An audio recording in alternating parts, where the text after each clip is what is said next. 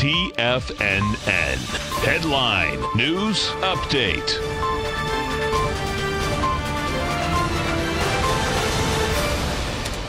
Good afternoon, everybody. I'm Tommy O'Brien, coming to you live from TFNN headquarters in St. Petersburg, Florida. 2 p.m. Eastern Time on Monday. Two hours left to go in the trading day. We have a mixed market so far. Pretty calm afternoon.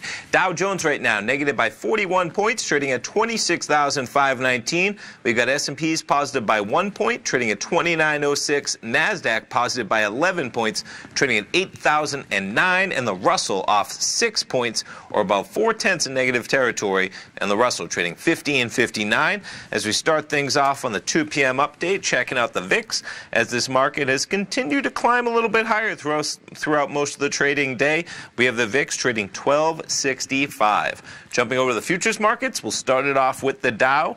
So there's your opening bell, around 26,450. We trade higher until about just prior to noon, reaching a high of 26,548 in the Dow, and then we've backed off about 40 points, 26,510.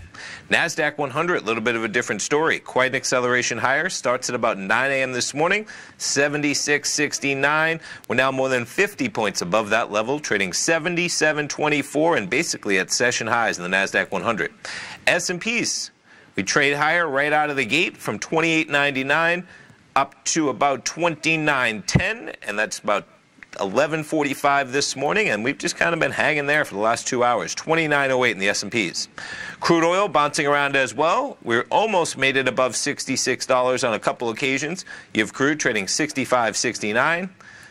Gold contract backing off a bit. We make a low of 1275.75 just at about at noon Eastern time. And you got gold trading 1277.45.